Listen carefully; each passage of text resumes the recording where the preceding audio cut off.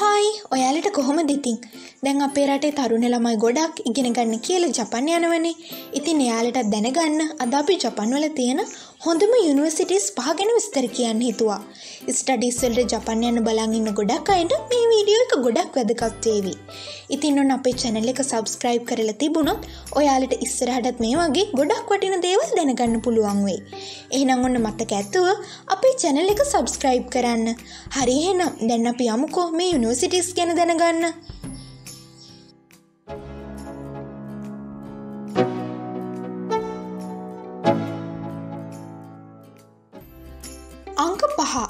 යනිවර්සිට of කියෝටෝ කියෝටෝ යුනිවර්සිටිය එක යොෂීඩා උජී සහ කට්සුරා කියන කැම්පස් තුනක් පුරා පැතිරිලා තියෙනවා. ඒ වගේම මේ යුනිවර්සිටිය එක ජපානයේ තියෙන පරණම යුනිවර්සිටිස් වලින් එකක් වන අතරම ආසියාවේ උඩින්ම ශේණි ගත කරලා තියෙනවා. ඔන්න ඔයාල ස්ටඩිස් කරන්න ජපන්වල කියෝටෝ යුනිවර්සිටිය එකට යන්න ඉන්නවනම් මේ දේවල් අනිවාරයෙන්ම දැනගෙන යන්න. ඔයාල හිතන විදියට මේ යුනිසිටියක ළමයි කියක් වගේ ඉන්න ඇතිද. හරියටම කිව්වොත් කියෝටෝ යුනිවර්සිටිය එකේ ළමයි විසිදි දහක් වගේ ඉගෙන ගන්නවා.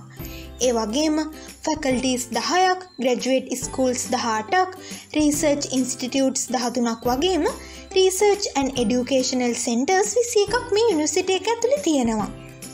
හැබැයි ඉතින් මේ යුනිවර්සිටිය එක පටන් ගත්ත කාලේ මේක තිබිල තියෙන්නේ law college medical college letters and science සහ ඉංජිනීරීම් ෆැකල්ටි විතරයි.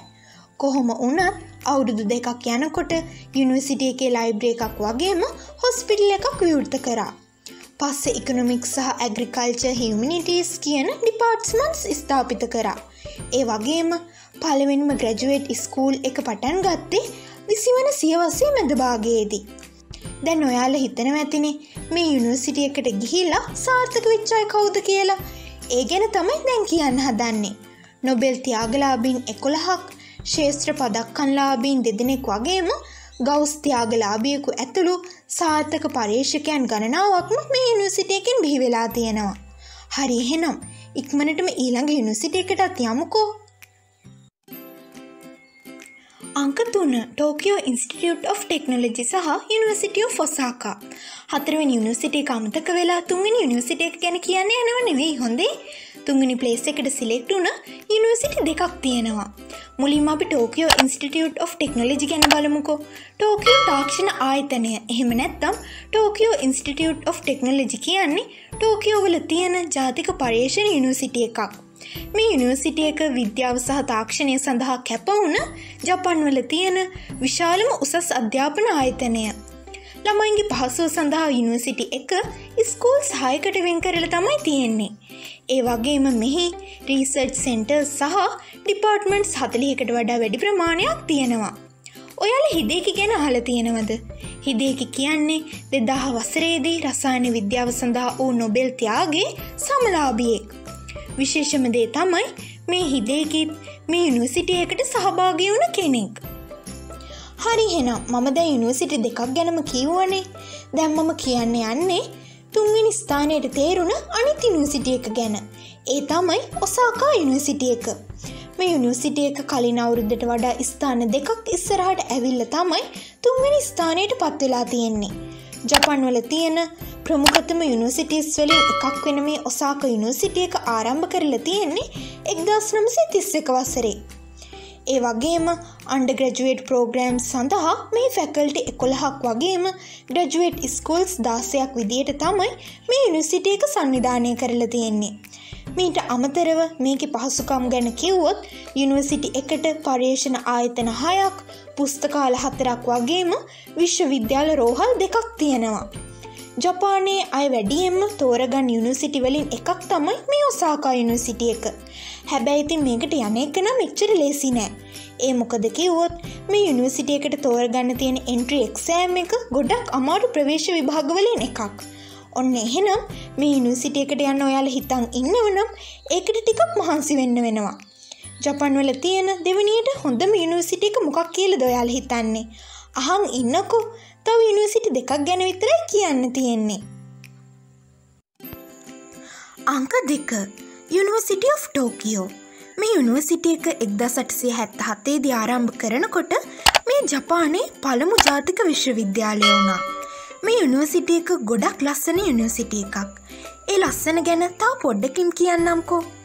මුලින් බලමුකෝ මේ යුනිවසිටිය එකේ තියෙන්නේ මොනවද කියලා. මේ ෆැකල්ටස් දහයක් ග්‍රජුවට් ස්කූල්ස් පහලවක් ඇෆලියේටඩ රිසර්ජ් ඉන්ස්ටිටියුට්ස් එකොළහක් වගේම යුනිවසිටි වයිඩ් සෙන්ට්‍රස් දහතුනක් සහ ප්‍රධාන පුස්තකාල තුනක් වගේම උසස් අධ්‍යනය සඳහා ආයතන තුනක් තියෙනවා.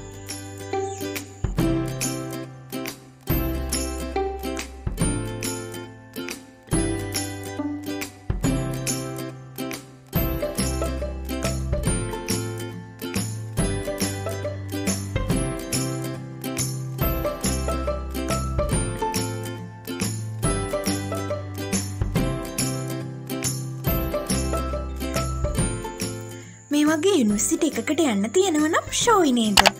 ඔහොමහං ඉන්නකෝ පළවෙනි එකට යන්න කලින් මේ ටෝකියෝ යුනිවසිටිය එක ගැන තව චුට්ටක් කියන්න තියෙනවා. මේ යුනිවසිටිය එකේ හොංගෝ කොමාබා සහ කශිවා කියල ප්‍රධාන කැම්පස් තුනක් තියෙනවා. ප්‍රධානව මේ තුනේ තමයි ළමයින්ට උගන්නන්නේ. මේ යුනිවසිටිය එක අනිත් යුනිවසිටි වලට වඩා ටිකක් විශේෂයි. ඔයාල හිතන විදියට ඒ විශේෂත්වය මොකක් වෙන්න පුළුවන්ද.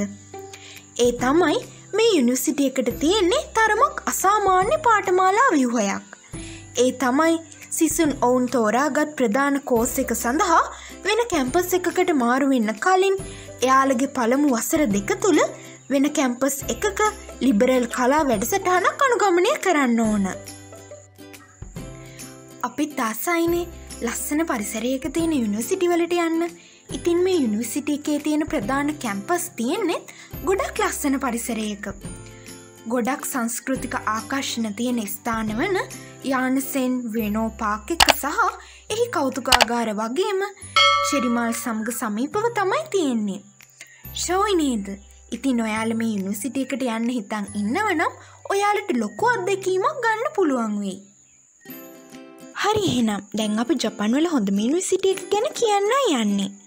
අංක එක යුනිවසිටිය of ටොහෝකෝ මේ යුනිවසිටිය එකේ ගොඩක් පාසුකා මිදි කරල තියෙන්නේ සෙන්ඩායි නගරේ පුරාණ යුදභූමි අවට සහ ඒ ඇතුළත. මේ යුනිවසිටිය එකේ විශේෂත්වය තමයි කාන්තා ශිෂ්‍යාවන් ඇතුළත් කළ ජපානයේ පළවෙනි යුනිවසිටිය එක වගේම ජපානයේ ජාත්‍යන්තර සිසුන් ඇතුළත් කළ පළමුුණ යුනිවසිටිය එකත් මේකවීම. දෙදස් නමය වසරේ ජපන් රජයේ විසින් ජාත්‍යන්තර මට්ටමින් උසස් අධ්‍යාපනය ලබාදීමට යුනිසිටි දහතුනක් තෝරගෙන තිබුණා. මේ යුනිසිටි දහතුනෙන් එකක් තමයි ටොහෝකු යුනිසිටිය එක කියන්නේ. ඒ වගේම ප්‍රධාන වශයෙන් ඉංග්‍රීසි භාෂාවෙන් උගන්වන උපාධි වැඩසටහන් මාලාවකුත් මේ යුනිසිටිය ඇතුළ තියෙනවා. හරි එහෙනම් අපි ජපන්වල තියෙන හොඳම යුනිසිටි පහක් ගැන කිව්වානේ දැන් ඔයාලට මේව ගැන පොඩිහරි අවබෝධයක් තියෙනවනේ. ඔන්න එහෙනම් අදට අපේ වීඩියෝ එක ඉවරයි. ඉතින් මේ වීඩියෝ එක හොඳයි නම් ලයි කරන්න කමෙන්ට් කරන්න අමතක් කරන්න එපා. ඒ වගේම යාළුවන්ටත් බලන්න අනිවාරයෙන්ම ෂයා කරන්න.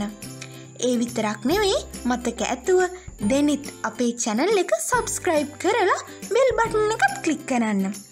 ආයෙත් දවසක ඉක්මනටම මේ වගේ විඩියෝ එකකින් හම්බෙමු. ඉතිං ඔයාලට සුබ දවසක්.